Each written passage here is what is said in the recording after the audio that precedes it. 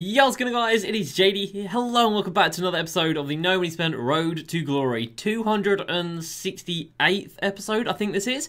And we've got a first. And I do mean a first. Today, everybody, we pulled a Bradley Beal. We didn't just pull any old Bradley Beal. As you can probably tell, we pulled the first one. We got the very first one up on the PlayStation Marketplace and that feels good. Out of all the packs this year, we've never had the first card up that's been like the top tier. So we might have pulled like out of the packs today the first opal or the first pink diamond. We'd never pulled the first dark matter. But today that changed. Bradley Beal came through. Look at that smile on his face. He was a happy boy. I was a happy boy. And we're going to cash him in today, and it is glorious. You guys know the first card sell for a stupid amount. The first Andrew Wiggins today, 500k. 500k for the first Andrew Wiggins. Uh, just to give you a little bit of a ballpark of where we might be. So at 1.7 million MT right now, it's safe to say we're going to be over 2 million MT. And of course, we have sold the two Dark Matter Stephs that we had yesterday, so they're both gone. We have got two Flash 9 packs that we've pulled from Triple Threat Online. We did a few boards today. Um, we've got a Diamond Shoe pack from completing the Step 1 challenges for Blake Griffin. So all ready for whenever Step 2 comes out, which will most likely be this Friday. And of course, we did get some new Rewind cards out today alongside Bradley Beal. Uh, got the Brogdon there as well, obviously some opals and some pink diamonds. But I'm actually not going to be doing the Rewind challenges anymore. Now, we did do a few more today. We finished up a couple that I wanted to do. Uh, Richaun Holmes, I did not want to do, but we've got him. Robert Williams, arguably the best one out there. We've got Josh Hart as well. So we've got nine of these cards right now. And I think that's where we're going to end it. I don't think we're going to go any further, and I'm going to give you guys my reasoning for that in this video. So let's jump into it. I do have my live reaction to the pack pull of Bradley Beal. So if you weren't in the stream earlier, facebook.com slash jdcrossover for the daily streams where we open packs literally on a daily basis. Uh, but yeah, if you weren't in that stream, don't worry, the live reaction is coming in this video. So let's jump into it. If you're new to the stream, make sure you go ahead and subscribe for the daily videos. And huge thank you to the goats of the channel for their support, Eric Jason, Cody Speaker Caleb, Liam Josh Kieran, and Trevor. So, XP, if you're level 40, we ready. We ready. Step 1 is done. The Season 8 Rewind players, they're about 20,000 MT now. Not that bad, so 60,000 MT you need to outlay to be able to buy all three. Then you can sell two back straight away. Then you've only got 20k left. Uh, and obviously you got to keep one card to do five games, and that was relatively straightforward. So it comes down to now these ones here, Malik Monk, Jakob Poeltl, Toscano, the new ones, uh, Gafford and Sumner. Gafford is so bad, 70 mid-range, 33 ball, no playmaking badges, no shooting badges. It's just it's just an embarrassing. It's a, it's a, it's an absolute stinker. 23 Hall of Fame badges, one gold. This man has got a combined 24 total badges. Like, I don't even know what 2K are doing these days. And then as for Jakob Poeltl, we've got two blocks. I can't be bothered to get the blocks, and no blocks for the Hornets. Can't be bothered to get the blocks. So we're going to die there. Now, the reason for that is, if these rewind cards are needed for something, which let's just say they are. Let's say step two for Blake says use X amount of players in an X amount of season rewind reward players in a challenge. Realistically, how many do I think they're going to add in as a challenge. So at any given point, there's always six players attainable because we get a pack on Tuesday, we get a pack on Thursday. So at any one given time, there's always six cards that are available. So if we go off that basis and the fact that 2K would make it fair and attainable for everybody, which is debatable, but let's just say they make it fair, the maximum players you'd have to use would be six. Now, would they say use six players in a full 13v13 5v5 game? Um, I don't know. Is it more likely that they just say use three in a game of triple threat offline? I can definitely see that. So if they do say, you know, use six in a full game, we're fine. If they say use three in a triple threat offline game, we're fine. If they say you've got to use a full 13 man lineup of season rewind cards, they just can't do that at this point because it's physically not possible for people to be able to get that many. I don't think, or maybe it is, but I don't think it would be.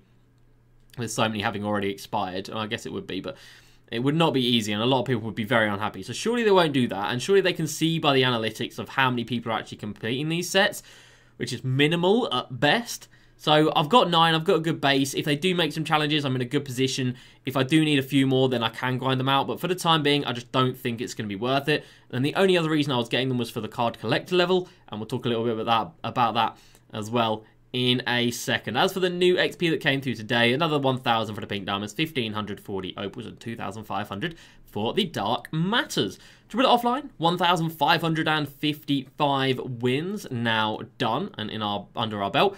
And then for triple the online, we were like one, we were like two and two, I think. We got up to three and three. We reset and then we did a full board. We went nine and one. So I went three and three and three, and then I went nine and one because 2k. Uh, and on the final T3 boards, we've got five tokens twice and a Diamond Concealers pack. And of course, we didn't get the Diamond Concealers pack at all. Uh, but on T2 boards, we did get the Flash 9 pack. And as you guys saw, we got the Flash 9 pack twice, which is awesome.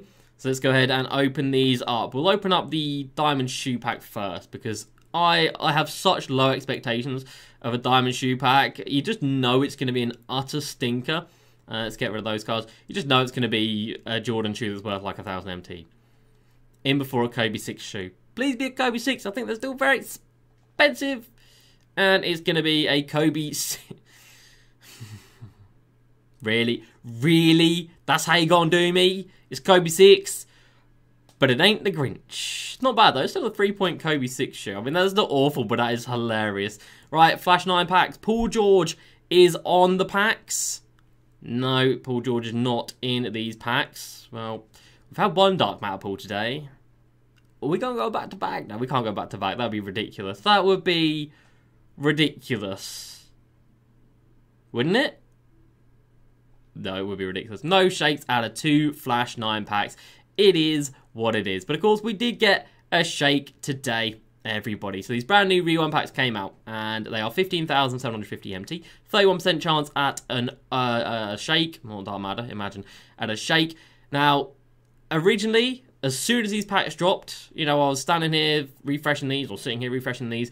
I didn't actually see the additional dark matters that went into this. So we knew Wiggins was in here, we knew Brogdon was in here, and we knew Bradley Beal was in here. But I didn't actually check to see who the other ones were. So the other ones are Jamison, PG, Wilt, and Steph.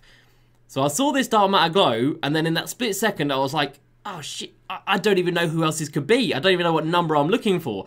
And then uh, this number popped up on screen. So let's run everybody. Here is my first in the world Dark Matter Bradley Beal pull. Big pain, man. You see a shake, you don't expect it to be a diamond card. Hurry up. Right, pack two. 15,000. What was 16,000 MT per? 16,000 MT. Oof. Nothing on the second one. Great. Grand fantastic. We're going to do five because these are so expensive. I don't like doing many of them. Even five is like 80,000 MT.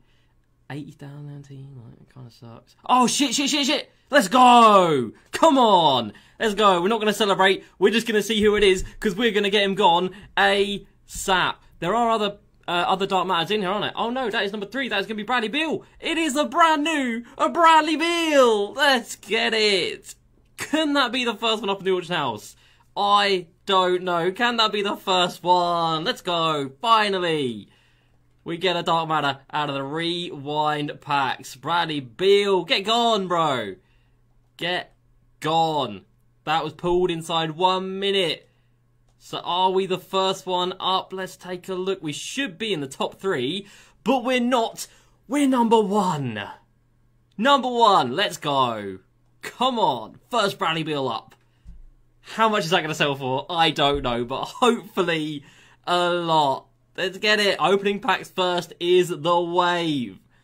Opening up packs ASAP is the wave. Hey, screw it. Let's see if we can do another one. Jeez, fantastic. Ooh, feels good. I was just on a flip all. I didn't even give it time to think about what it was. I didn't get to admire the glow, which kind of sucks because I did want to see that glow. I want to see that little shaky shake a little bit more, but we take it. All right, fifth and final pack right now, and it is going to be bruh, another di another diamond card. So the first Bradley Beal. So, as you can see, that was absolutely awesome. Now, I did go on to open quite a few more packs. We actually opened up 10 packs today. We got a few more shakes, but they were only diamonds. So, we got all three of these cards here. So, we got four shakes out of 10 packs one John Wall, one Klay, one Eric Paschall, and then obviously one Dark Matter Bradley Beal, who was obviously the moneymaker. So 157,000 MT spent today. But as I mentioned, as you can probably see by my smile, we made a little bit more than that back on Bradley Beal. Right now, he's rocking in at about 200,000 MT, but you guys already know. The first card hits different. I'm yet to experience it. I've experienced it today, and I can say I'm very happy. Let's do it. 407,000 MT. 400! Oh my god.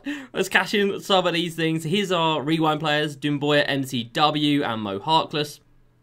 The two Stephs that we pulled from Triple Online, 70k a piece. You'll love to see it.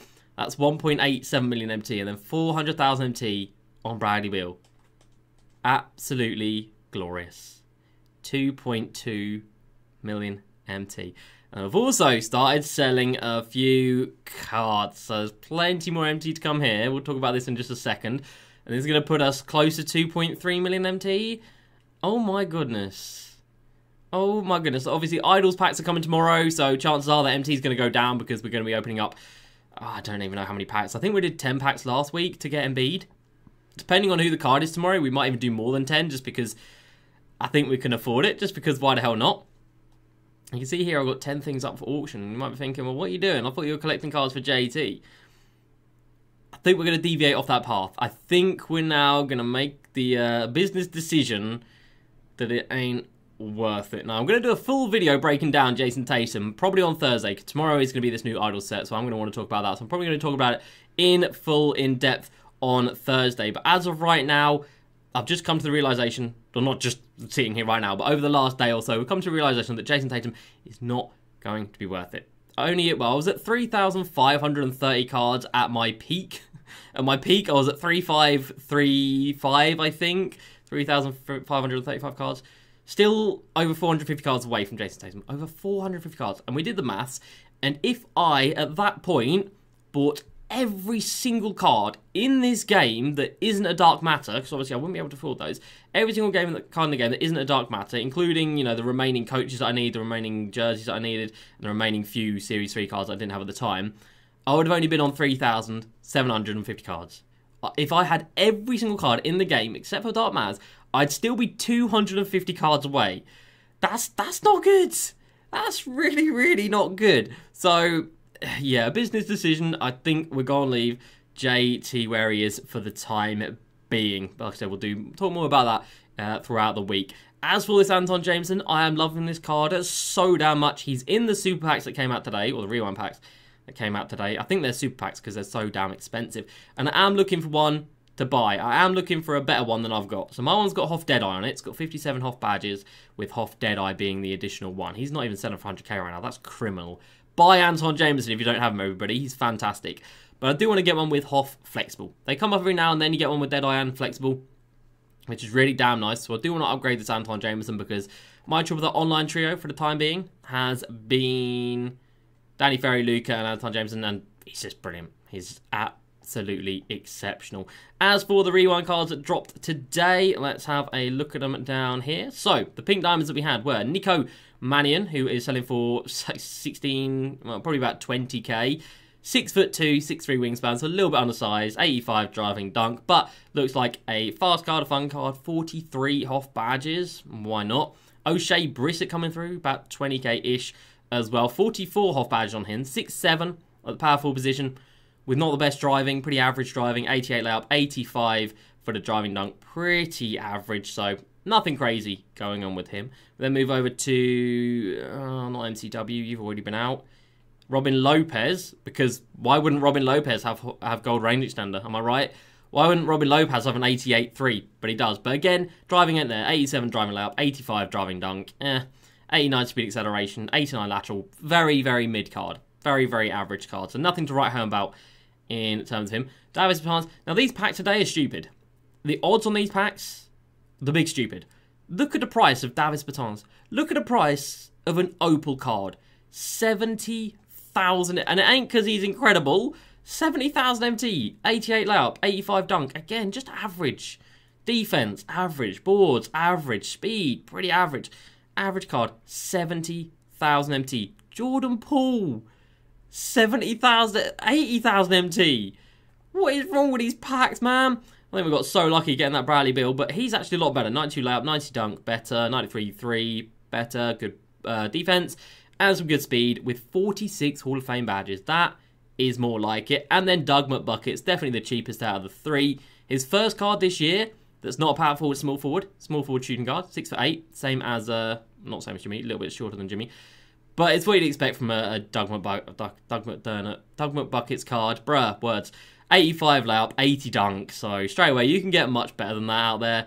Very average defense, no boards, and uh, yeah, he's a great shooter, but that, that's about it. That's about it. And then as for the uh, Dark Matter cards, we'll come to Bradley Beal last because he's my guy. He's my guy after today. Six five Bradley, six five Malcolm Brogdon. That's got a shoe on it. Let's have a look at this one that doesn't. 94 layup, only the 85 dunk, but great shooting, great passing, great defense, and good speed. That's a very solid card. Andrew Wiggins coming through. Um, and comparing him to Jimmy Butler, he is Jimmy Butler. Uh, Jimmy Butler is Andrew Wiggins. Look at these cards. They're pretty much identical. Jimmy Butler with better interior defense. Andrew Wiggins with better dunking. About it. And then 51 Hoff badges to 48. So if you don't have Jimmy Butler, you've got a, a replacement there in uh, Andrew Wiggins. And as for Bradley Beal, the card that we had the first in the goddamn world, feels so good. Uh, he's grown two inches he was 6'3", he is now 6'5", which contributed to his price. If he was still 6'3", there's no way he would have sold for this much, but he didn't, which is glorious. 99.3, 95 dunk, 97 layup, much better. 94 perimeter defense, 95 speed, acceleration. Every shooting badge in the game, Hall of Fame, obviously including steady, 53 in total. And he sold for 400k. And RMT is looking so healthy right now. I can't even believe it. So that is going to do it for me today, everybody. Another Dark Matter pull for the year you just love to see it. I don't know how many that is now. I think it's like eight, maybe. Ah, feels good. So we'll be back at it again tomorrow for new idols packs. I don't know who it's gonna be, but I hope it's gonna be somebody good because right now these idol sets are hitting. Kawhi still at 500k. Embiid earlier on was 500k. He's about 400k right now. He was 500k earlier on. Who are we going to get tomorrow? I don't know, but it should be exciting. So that's going to do it from me today, everybody. Hope you have enjoyed. As usual, please like, subscribe, and I will see you next time. Peace.